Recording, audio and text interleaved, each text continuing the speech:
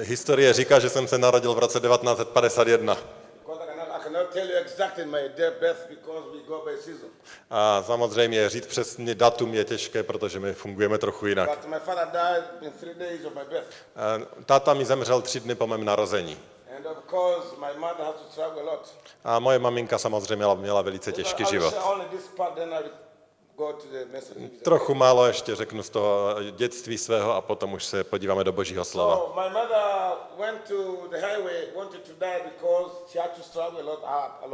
Eh, Moje matka už to nemohla unést, protože já jsem byl nemocný a jednoho dne se rozhodla, že si v noci lehne eh, se mnou na silnici. I don't know why call in science, uh, know, but they say I was fainting for eight hours a day. Nevím, co by na to řekla přesně věda, jaká by byla diagnoza, ale důvod, proč ona se rozhodla vzít si život, bylo ten, že já jsem byl v tak těžkém zdravotním stavu, že jsem až 8 hodin denně byl v bezvědomí. But also some native uh, doctors that say that were somehow voodoos. A, a místní lékaři, kteří se tím zabývali, tak všichni řekli, že jsem jakýmsi stylem posedlý, nebo že jsou zlí duchové ve mně. A pastor křesťan řekl, že jsem eh, posedlý démony. So all this is okay, but the reality is this: that I was dying for eight hours. My mother tired. He went to sleep on the highway. He want to die with the child. A jenom dodám, to teď neříkal, že krvácel z otvorů v, v obličeji, všech možných, z nosu, z uší, z očí, z úst, a takové jakési problémy měl. A maminka už to nemohla vydržet, takže ona se prostě rozhodla, že ukončí to své trápení a šla si se mnou lehnout na, na cestu. But but that day there was no car, no bicycle, no animal. Ale tu noc nejelo ani jedno auto, nic nás nepřejelo. Ani, ani kolo, že by nás si někdo všiml, ale ani žádné divoké zvíře nepřišlo a nesežralo nás. A tady už vidím Pána Boha v procesu, eh, jak působí v mém životě. A když maminka viděla, že tak zázračně teda přežila skoro, tak se rozhodla, že mě zanese k babičce. One, 118 miles, kilometers. kilometers. 118 kilometrů cesty. She went to place called Ewi. No, you go another place. Eh, Šla a přišla na místo, které se jmenuje Ewi. Second down, second day, and he was showing now third, the sun was going down. A to už byla druhý den na cestě, byl večer, stmívalo se. In my tribe, in our tribe, A v našem kmeni, the tribe of the area of Mbulu, eh, to jsou ty km- kmen, který je kolem oblasti they used Mbulu, to throw children out when they die. tam se to kdysi dělávalo tak, že děti se nepohřbívaly a když dítě umřelo, tak se prostě položilo někde pod strom. They don't bury it. Nepohřbívají se. A to učení, nebo ten, to, co tam bylo, že když pohřbíte dítě, tak ono se vám vrátí nějakým způsobem.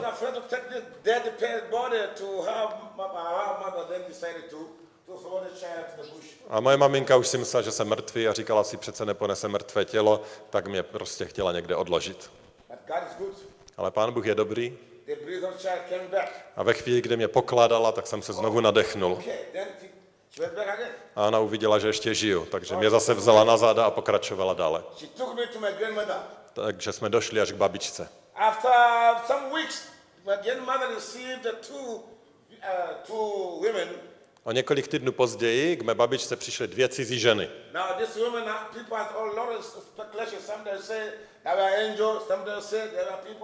Again, doesn't matter to me.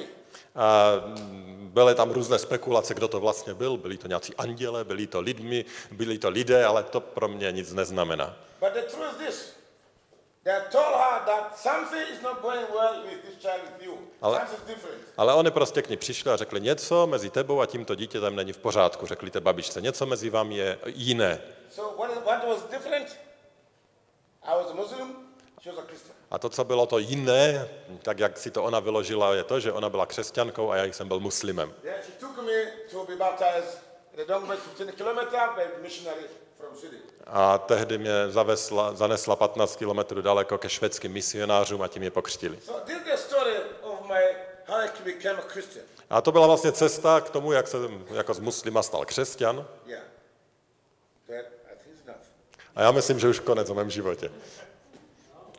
No? So, you should continue. Okay, he wants to know how to escape the lion. Oh. Yes. how you were saved from lion. tribe is, uh, ha- has the oral tradition. I think you remember that. A v našem kmeni máme takzvanou oro tradici, to znamená oro vzdělávání, tradiční vzdělávání. In our area, oral tradition means you, you have to be taught how to become a man, of course, but how to ora tradice, to oro vzdělávání je vlastně vzdělávání, jak se stát mužem. To, co musí chlapec umět, aby se mohl stát mužem. A jedna ze součástí je to, jak utéct před divokými zvířaty. Některé věci už jsem zapomněl, ale ty tři konkrétní zvířata bych se chtěl s váma podělit. Elephant, rhino, and lion. Jak utéct slonovi, nosorožci a lvovi. I was told when you meet elephant, don't run to the mountain. A nás to učili, a to si dobře zapamatujte, že když potkáte slona, nikdy před ním neutíkejte do kopce. Vždycky před slonem utíkejte pokud možno z kopce. A nevím úplně, co na tom je, ale funguje to asi. Protože eh, slon je rychle a když běžíte do kopce, tak vás doběhne, ale když běžíte z kopce, tak problém, slon má problém vás lokalizovat kvůli jeho velkých očí, uší, protože ty uš, uši ho předběhnou a dostanou se před oči, on vás dobře nevidí. A to vás zachrání. Takže to máme slona. So you have to do that to repeat, to repeat, to repeat. A když nás to učili, tak my jsme to museli pořád říkat, říkat, říkat, až to bylo v naší mysli. Další je nosorožec. Když poznáte tvrdě spícího nosorožce, tak ho poznáte podle toho, že jak se nadechuje a vydechuje, tak se mu ten roh tak here. A zdá se, že osorožci mají často na zadech ptáky. So that bird gives message. A když se něco děje, někdo jde kolem, tak ti ptáci dají nosorožci signál, že prostě někdo prochází. A v té chvíli uvidíte nosorožce, že se mu roh přestane kývat a spevní. This. A to, co nás vždycky učili, je toto. Oh, A, a ten základní poučka zní, že když chcete obejít nosorožce, když na něho narazíte, nikdy ho neobcházejte ze zadu. Vždycky ho musíte obejít ze předu. Because when they get up, Protože když nosorožec se probudí a vyskočí, tak on jenom vyskočí a bez toho, aby se díval kdekoliv orientoval, hned běží dozadu. Takže když ho obcházíte ze zadu, tak mu budete přímo v cestě. Ale když se náhodou potkáte na chodníku a on běží přímo proti vám, tak prostě čekejte, až se přiblíží.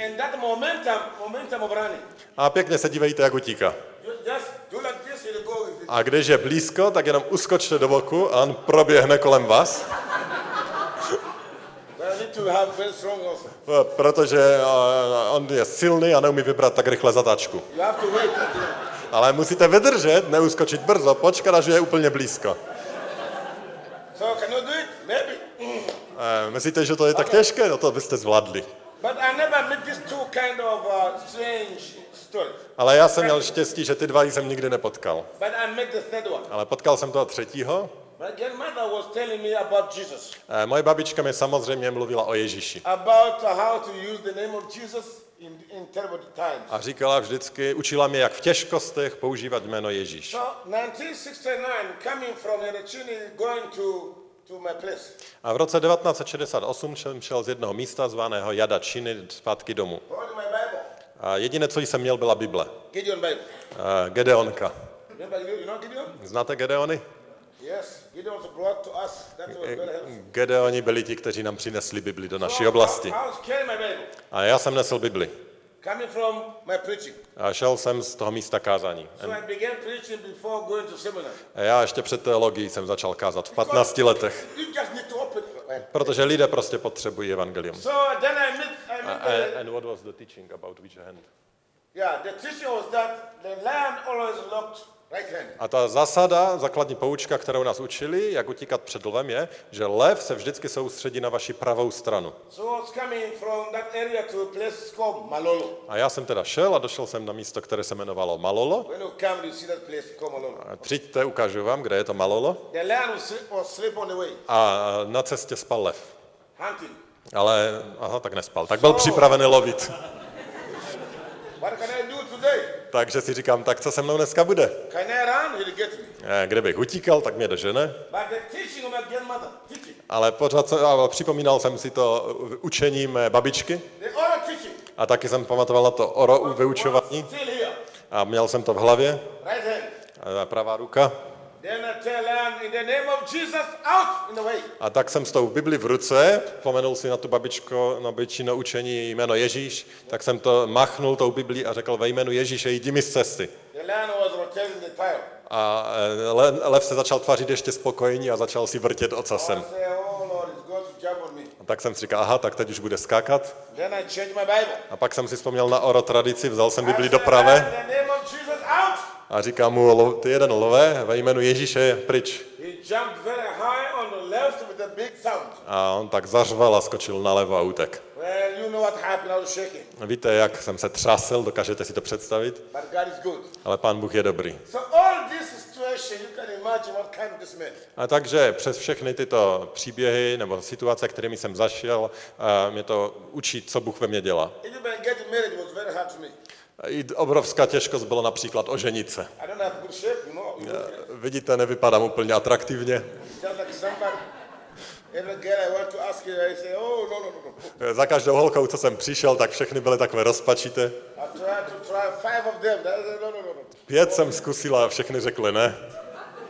Asked my mother, what, my, my grandmother, what happened to me? Say, maybe God, God prepared somebody. I said, no, I'm too ugly, maybe.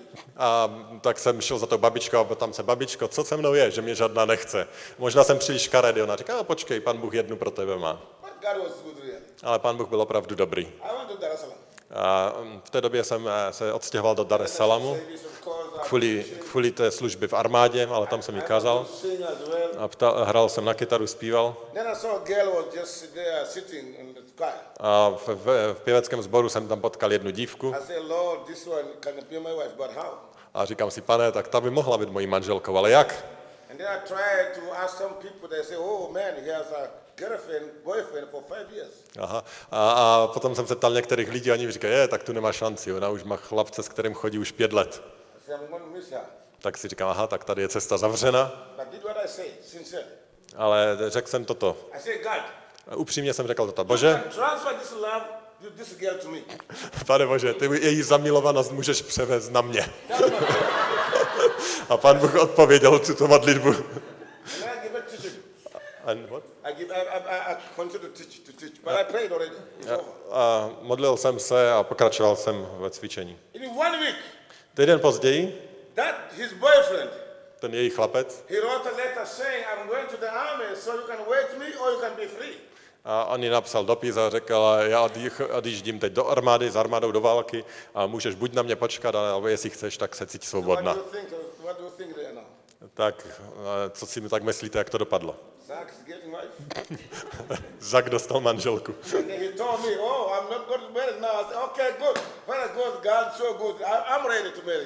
A on jí potom řekl, té dívce, opravdu si tě nemůžu vzít. A já jsem řekl, tak já jsem k dispozici.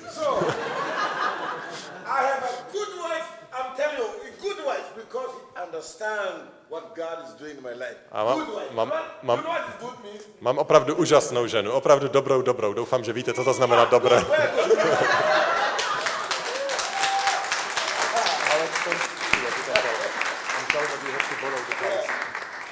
But since I was orphan, I didn't have my father. Ale samozřejmě já jsem byl sirotek, neměl jsem otce. A samozřejmě manželky nejsou zadarmo, musíte je zaplatit, vykoupit. Dvě kravy. Kde se ženu dvě you. Ale byli nějací přátelé, kteří se slitovali. So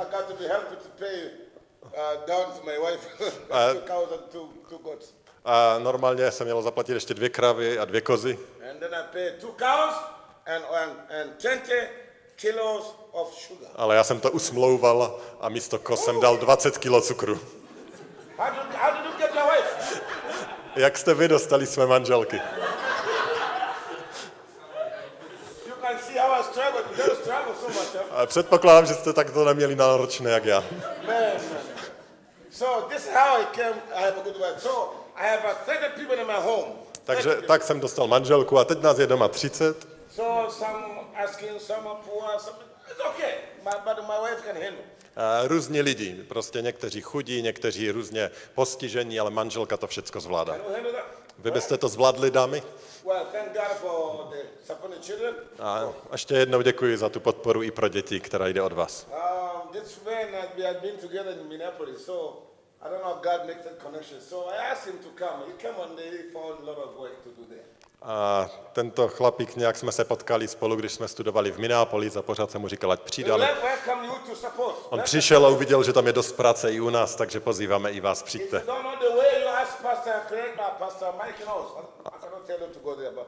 A- Nechci vás nutit, že musíte přijít tam, ale kdybyste chtěli, tak Michal zná cestu. Afraid malaria, don't afraid to die. You are going to die anyway. Nebojte se malárie, nebojte se, že tam zemřete, teď stejně zemřete. no, I'm going to stay forever here. Nikdo tu nemůže zůstat věčně. In 2000, today's what? Today's what? October, let me tell you when, the, when, when you tell me tell you something. Uh, October 28th, yeah, 28. října, year of 3000. Year of 3000 years. před třema tisíci let. This is 2013. Yes. 3013. Aha, takže 28. října 3013. eh, 3013, You're not going to be here. tady už nebudete. Eh, Můžete už odpočítávat, kolik vám tady zbývá. 28 October 3013. No one's going to be around. 28. října 20- 3013 nikdo z vás tu nebude. Je, je to tak? Jo. How many years? 100? Kolik nám ještě zbývá? 100? So, let me say something here. Dovolte, dovolte že se podělím o něčem z Božího slova. Uh, Ne, netrapte se tím moc, nemusíte možná do Afriky, cokoliv. okay. Let me share to you a verse of the Bible evangelistic message. So, Dovolte, ať se s vámi podělím s poselstvím Evangelia. Forgive, for, forgive me if um, I would speak maybe different from the gospel. Ten minutes. Mhm. Dovolte něco z Evangelia. Sinjira is.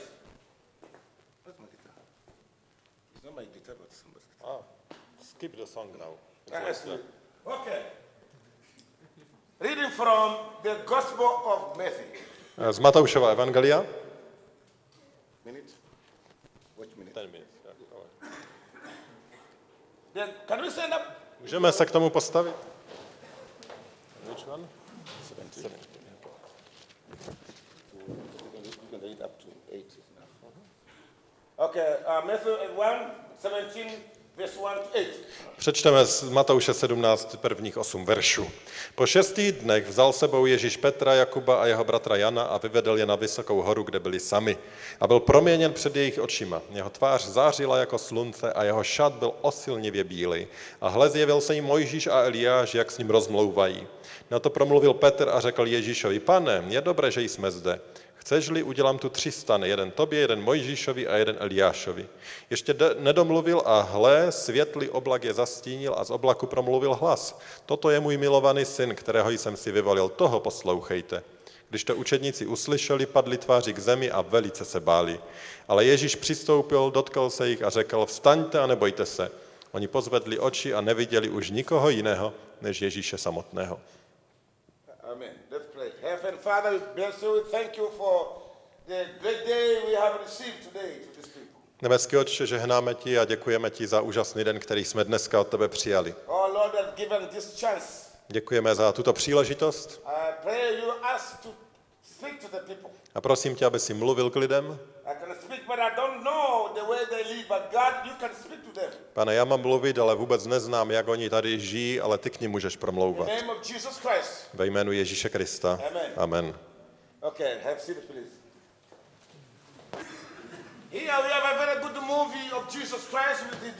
A vidíme tady jeden eh, zajímavý příběh Ježíše a jeho učedníků.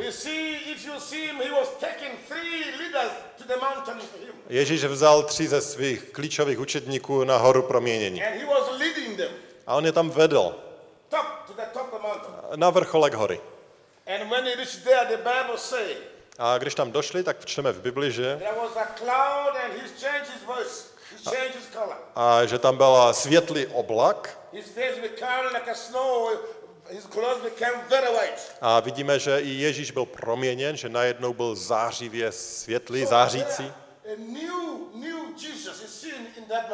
A v tom okamžiku vidí Ježíše nově, nového Ježíše tam vidí. disciples were somehow sleeping and then they saw, oh, this guy is changing. But they saw some people are coming from above. A oni vidí toho Ježíše, žasnou nad tím, co se s ním děje a najednou vidí dvě další osoby, jak se objevují z hora. A Bible nám říká, že to byl Mojžíš a Eliáš. A teologicky Mojžíš a Eliáš prezentují starý zákon, zákon. Mojžíš zákon, Eliáš proroky. As theologians will understand that Jesus is presenting grace. Ale Ježíš tam přichází jako ten, kdo reprezentuje Boží milost.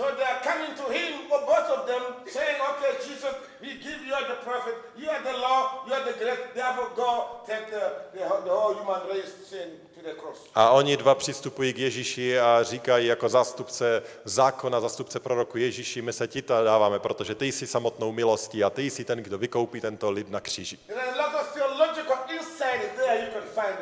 Na, našli bychom tam spoustu různých teologických závěrů v tomto biblickém textu. Ale to, co bych chtěl zdůraznit, je to, když vidíme, jak nadšený je tady Petr. A já bych byl taky nadšený. Asi vy taky. Protože to bylo tak úžasné tam být. I will build three tents, one for you, one for Elijah, one for Moses. He forget who his tent. A Petr říká, dobře, tak eh, Je- Ježíši postavím tady tři stany. Jeden pro tebe, jeden pro Mojžíše, jeden pro Eliáše. No, Jesus, of course, if you ask him, he say, No, I will bring a tent, not you to bring my tent. A Ježíš mu tam říká, že ne, že ty mi nebudeš stavět eh, stan. But what is most interesting to me is this again. Ale to, co tam je pro mě tak důležité, je, When that voice came down, the cloud covered them. There was a voice saying, This is beloved son. Že se tam eh, z toho oblaku ozval hlas, který říkal, toto je můj milovaný syn, kterého jsem si vyvolil.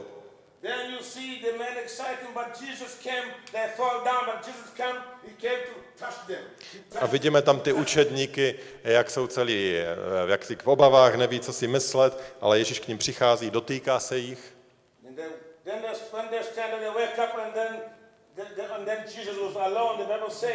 uh, when they lifted their eyes, they saw only Jesus, no prophet there, no lawyer there, only Jesus himself. A potom úplně nakonec, když pozvednou své oči, tak už nevidí nikoho jiného než Ježíše samotného. Žádný Mojžíš, žádný eh, Elia, žádný zákon, žádní proroci, pouze Ježíš. So that was the end of the story from verse 1 to point 8. A tím končí ten verš 8, ten text od prvního po 8. What I verš. Ale v kontextu tohoto světa bych chtěl říct toto.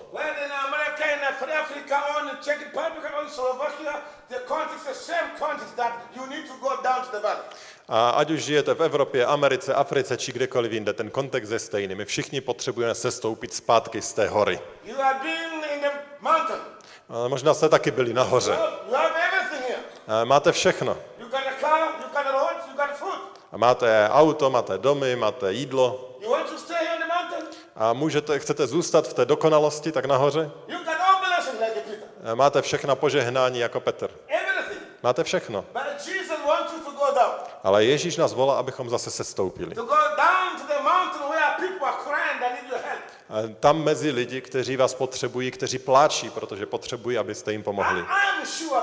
I'm sure God has given you some power, some ability, some gift. You have it. Jsem přesvědčený, že každému z vás dal Pán Bůh jakousi moc, jakési dary, jakési schopnosti, abyste pomohli. I'm sure God has called you to some area to, wit- to witness. A jsem přesvědčen o tom, že Pán Bůh vás si chce používat, abyste šli do jistých oblastí, kde byste byli svědectvím. how do you live with your neighbor? How do you live with their people? Do you go down to those who are in need?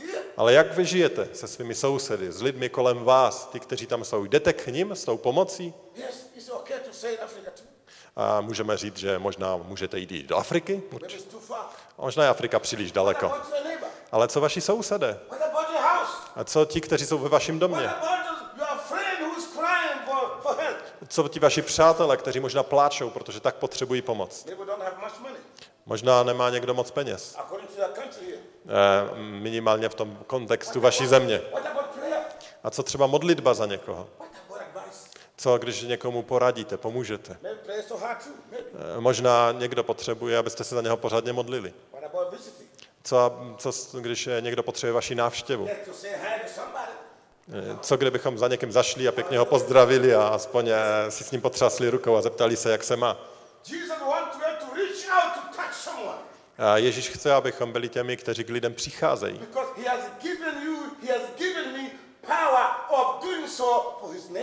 Protože on nám sám dává ze svého jména moc, abychom něco pro něj dělali. Samozřejmě, je to v pořádku, když si život užíváme, ale otázka je, pro jaký účel ho užíváme si. Proč si ho užíváme? Je to pro boží slávu or for my glory? Nebo pro moji vlastní slávu? Samozřejmě je to úžasné, když máme dobré auta, máme tak dobré židle. A Je úžasné si tak sednout a dát nohu přes nohu, ale pro čí slávu? A já bych chtěl, abyste viděli boží slávu ve všem, co vám pán Bůh daroval. Máme tady úžasnou kytaru, ano, ale pro čí slávu? We need to give God glory back as He gives us. Musíme pánu Bohu vracet slávu, jakožto on nám dal svou slávu.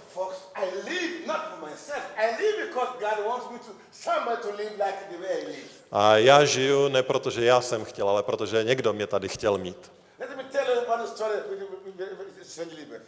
A dovolte, že ještě zmíním jeden příběh. Já krmím lidi. Thank you.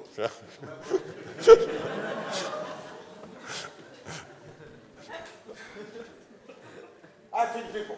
Snažím se krmit hladové. A to proto, protože jsem to přijal jako takové pověření od Pána Boha. A lidi se mě ptají, tak jak dlouho ještě budeš krmit? Já říkám, dokud Ježíš nepřijde.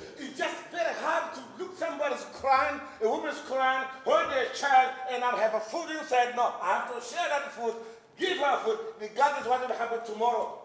A Pro mě je strašně těžké, kdybych já měl eh, reagovat na, nebo dost, když jsem v situaci, kdy přijde žena, tak jak přišla moje matka, kdy si s dítětem nemocným, plačícím, prosícím o jídlo a já vím, že já jídlo doma mám, já, já se musím dělit. Ale někdy I feed too much people, and then I was out of food. krmil jsem příliš mnoho lidí a jídlo došlo. I said, God, now what am I going to do? A tak se ptám, pane Bože, co teď? I said, there's somebody in Czech. A říkám si, ale v Česku někdo je. Zkusím mu napsat. A tak. Mr. Cruz, tak píšu e-mail. Michale, pomoz, pomoz, pomoz. Wow, you help me. Yeah, I get that 3,000 kilos. Dostal jsem tři tisíce, tři tisíce kilo kukuřice. so, when, when God knows I will get somebody, He has prepared somebody, someone, somewhere for you, for somebody. A vím, že Pán Bůh působí tak, že vždycky pro nás někde někoho připraví, aby stál v té službě s náma. Dovolte ještě něco.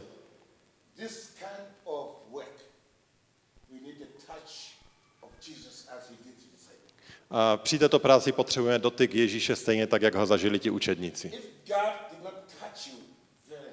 Pokud se nás Pán Bůh nedotkne, tak, eh, tak to sloužit je jen těžké. Ale pokud se vás Pán Bůh dotýká, you will see a place where to go. A vy uvidíte, kde vás posílá. A. A on uvidíte, kde je to místo, kde chce, abyste pomohli.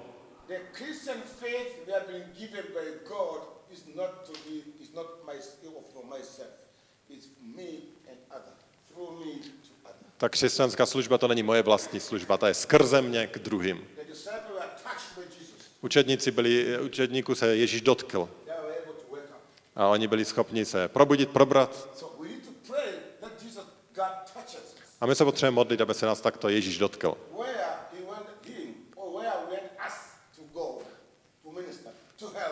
Aby, abychom viděli, kde nás chce poslat, kde si nás chce použít, kde chce, abychom sloužili.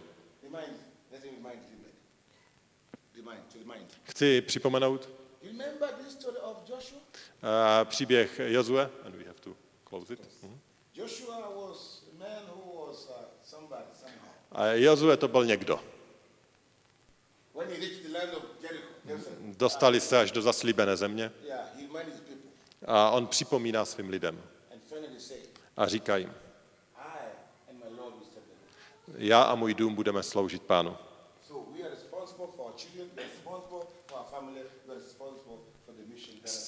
Jsme zodpovědní za své děti, za své rodiny, za, to, za tu misi, ke, ke které nás určila povolala.